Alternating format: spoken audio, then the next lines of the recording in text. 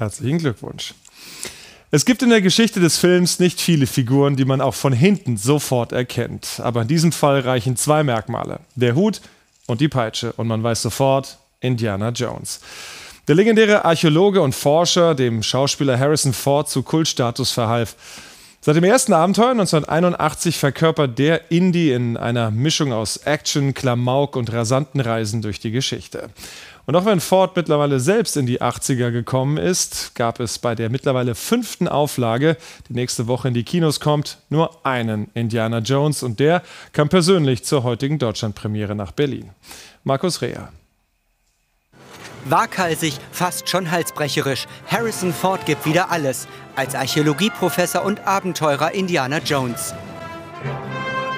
An seiner Seite diesmal Phoebe Waller-Bridge als Patentochter Helena. Turbulent, auch die Dreharbeiten. Yes, it was challenging and exhausting. ja, es war herausfordernd und anstrengend. Für mich, nicht für Sie. Wir haben lange gedreht.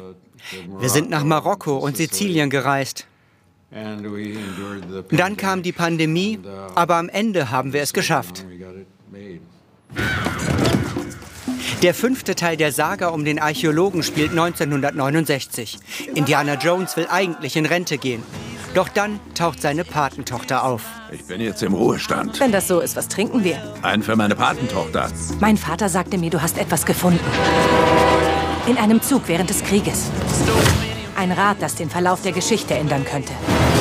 Das Rad des Schicksals. Hinter dem ist nicht nur Helena her. Auch Altnazis jagen das wertvolle Artefakt. Und Indiana Jones nimmt es mit ihnen auf. Ruhestand hin oder her. Dieser Indiana Jones darf alt sein, unverletzlich. Genau das reizte Harrison Ford.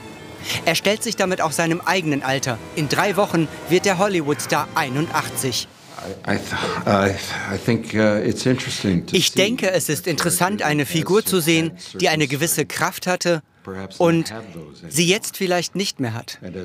Sie werden älter, jedermann wird älter. Ich wollte nicht so tun, als wäre ich noch derselbe Indiana Jones wie vor 40 Jahren. Der Archäologe mit der Peitsche und dem Hut, Harrison Ford spielte ihn 1981 zum ersten Mal. In Indiana Jones, Jäger des verlorenen Schatzes. Eine Kultfigur war geboren. Doch nun, mit dem fünften Indiana Jones-Film, soll Schluss sein. Dies ist mein letzter Indiana Jones-Film. Uh, ich habe keine Pläne oder Ambitionen.